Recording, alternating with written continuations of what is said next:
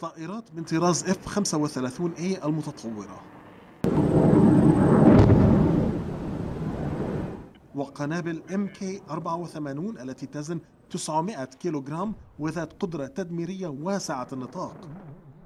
وغير ذلك من العتاد العسكري والذخيرة التي تقدر قيمتها بمليارات الدولارات. ستكون ضمن ترسانة أسلحة جيش الاحتلال الإسرائيلي بعد إعلان إدارة الرئيس الأمريكي جو بايدن عن إرسالها لإسرائيل في أعقاب زيارة وزير الجيش الإسرائيلي يوآف جالانت الأخيرة لواشنطن.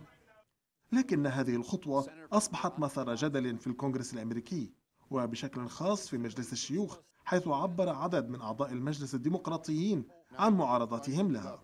يجب ألا نستخف بالنقاش الحالي الآن الذي آه، يقوم بعد رسالة كتبها فان هولن وتم التوقيع عليها من آه، ساندرز ومن ديك داربن وأيضا من تيم كين. هالاربعه هم قياديون إلى حد معين في الحزب الديمقراطي وطالبوا بشكل واضح عدم إعطاء الأسلحة لإسرائيل حتى تستمر في حرب الإبادة وفي قتل الفلسطينيين وفي ارتكاب جرائم حرب. إصرار الإدارة الأمريكية على إرسال السلاح إلى إسرائيل رغم الضغوطات الداخلية والخارجية أصبح مثار تساؤل في الأوساط السياسية حول أسباب هذا الموقف.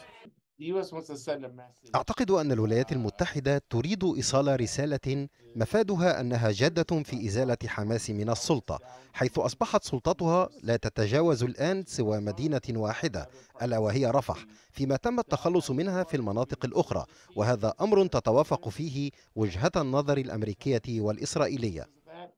وبينما تواصل القوات الإسرائيلية عملياتها في غزة والتي أودت بحياة عشرات الآلاف من الفلسطينيين تستمر الاحتجاجات ضد موقف الإدارة الأمريكية من هذه الحرب. طبعا فشلت فشلا ذريعا. آه، والدليل أنه بعد ستة أشهر من هذه الحرب لا تزال تتخبط ولا وغير قادرة على أن أن تتبع سياسة آه، آه، منسقة وفعالة. وفي هذه الأثناء تشير تسريبات إعلامية إلى أن الإدارة الأمريكية تدرس إرسال 50 طائرة F-15 و30 صاروخا من طراز M120 وذخائر هجوم مباشرة لإسرائيل كحزمة مبيعات إضافية.